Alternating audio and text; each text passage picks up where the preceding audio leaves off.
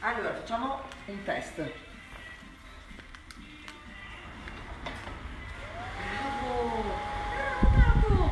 Ok, questo è il test del, si chiama anche Zen Dog. Praticamente è il test della gestione della frustrazione, nel senso che io chiudo il bocconcino, lui sa che c'è, chiudo la mano e non apro la mano fino a che lui non rinuncia, e ha rinunciato prestissimo. Quindi facile eh, collaborarci con un cane così perché comunque non è es- eccessivamente possessivo, ok? Quindi il suo istinto predatorio che c'è, però non è improntato alla possessività.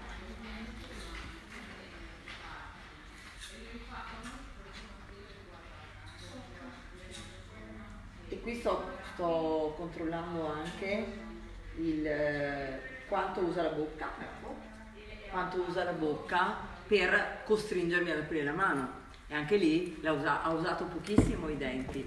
Quindi la problematica di cui parlavamo, che è eh, quella di appunto usare i denti, è solamente legata in questo Ciao, momento alla sua età e al fatto che gli danno fastidio le gengive e ha bisogno di mordicchiare.